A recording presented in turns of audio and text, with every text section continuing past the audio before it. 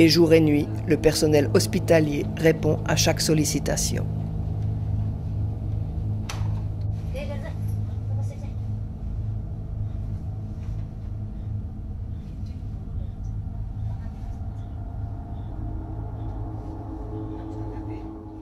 Ce jeune homme, aux prises à un choc émotionnel, est pris en charge. Son frère vient de mourir dans une crevasse.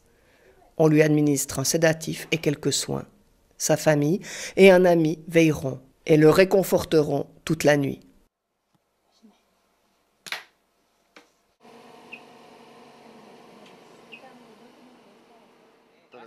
Bilan des Autrichiens, 5 opérations et 90 contrôles et soins en deux jours.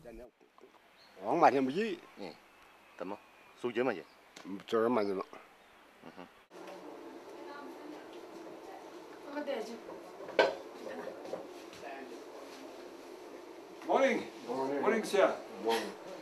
How are you? So when we move the... Uh, okay.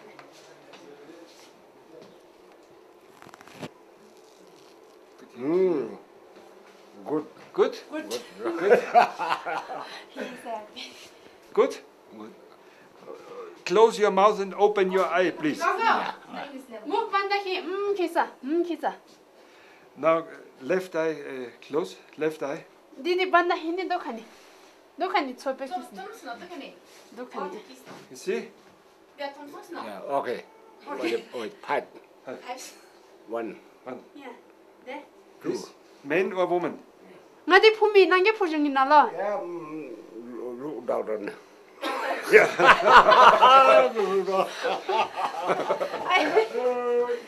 톰슨가가 야가 되기나 Okay, come.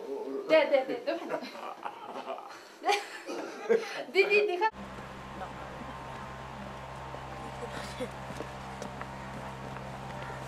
Les campagnes de vaccination sont annoncées par la radio locale et par affiche. La population se rend alors à l'hôpital, ce qui signifie des heures de marche, voire même une à deux journées parfois. Pour chaque patient, un registre est tenu. À raison de 800 à 900 consultations mensuelles, un nouveau problème surgit. Comment gérer et classer ces dossiers, dont certains font déjà partie des archives de l'hôpital Les soins aux enfants de moins de 5 ans sont gratuits. Les vaccinations, les médicaments antituberculeux sont payés par le gouvernement ainsi que le programme de planning familial. Les interventions se succèdent rapidement. Une journée rythmée par les petits désespoirs des enfants, vite apaisée.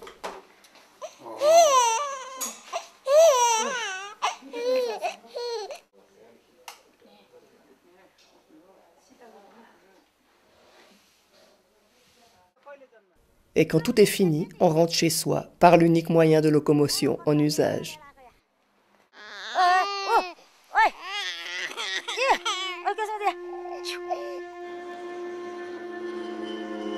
Les installations fonctionnent bien grâce aux moyens audacieux mis en place sur le terrain.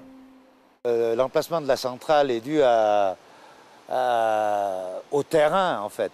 La, la rivière se trouve au-dessus, donc il a fallu euh, choisir un endroit qui puisse permettre l'amener d'eau par un bis d'abord, ensuite par euh, des pipes.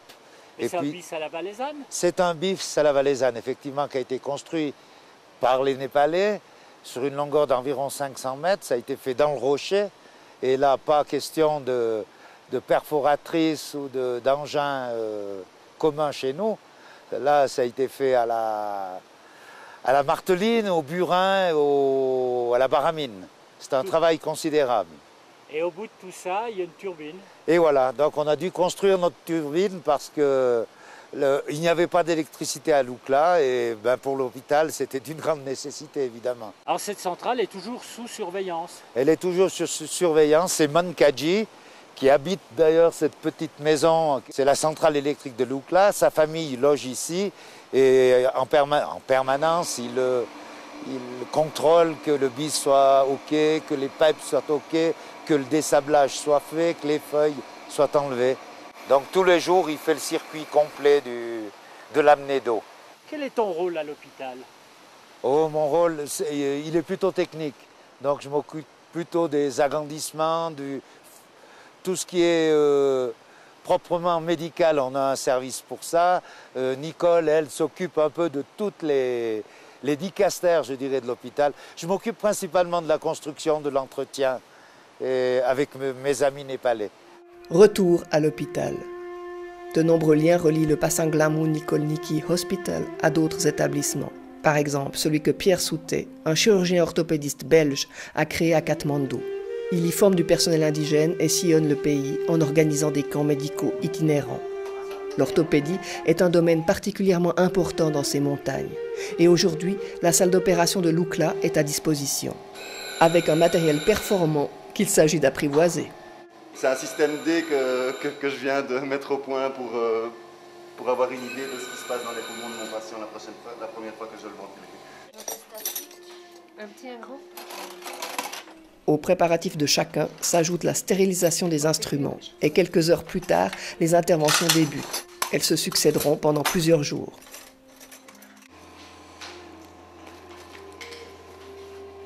Mais il faudrait trouver des blouses ouvertes pour demain, c'est beaucoup plus facile.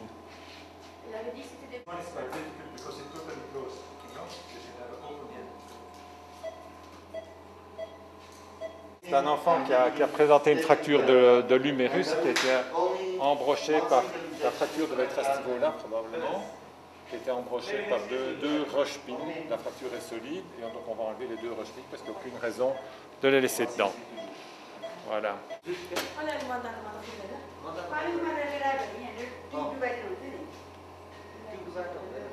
marrant, ces espèces d'enveloppes qui se mettent autour de tout le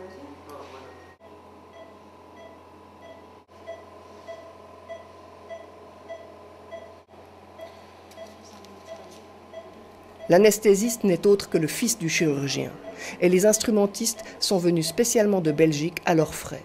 Des Népalais complètent le staff. Une bonne occasion d'échanger des savoirs et confronter des méthodes de travail parfois différentes, notamment en ce qui concerne le confort des patients.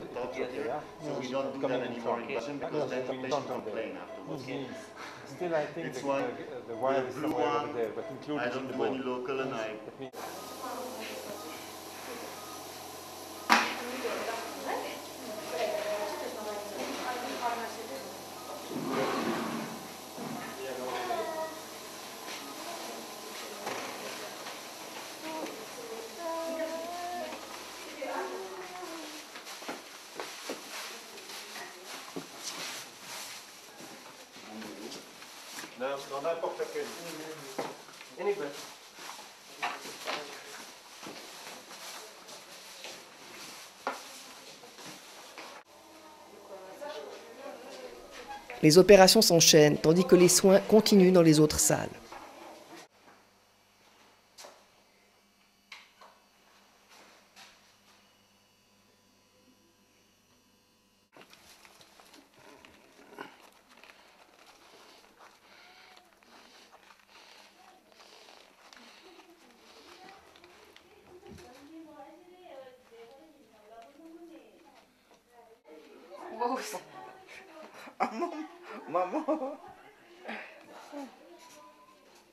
Une salle d'accouchement avec une couveuse complète l'équipement de l'hôpital de Lukla, où l'on insiste beaucoup sur l'hygiène et les conditions sanitaires si importantes pour la femme enceinte ou la parturiente, comme pour son bébé.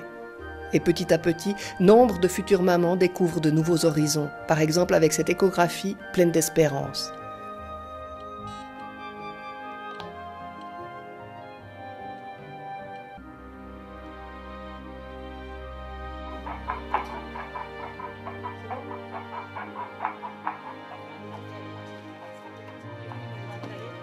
Parfois des surprises se manifestent, comme l'arrivée inopinée du groupe de Gabriel, une fribourgeoise qui a décidé de concrétiser son voyage dans cette vallée en offrant un sac d'intervention d'urgence, un atout pour les interventions à domicile. Et dans ce pays, les bretelles pour la version sac à dos sont indispensables.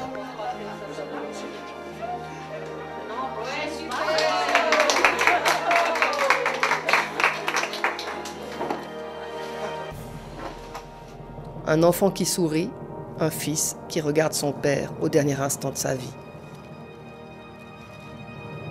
Cet homme a tutoyé les hautes cimes. Il est parti rejoindre ses ancêtres quelques jours après ses prises de vue.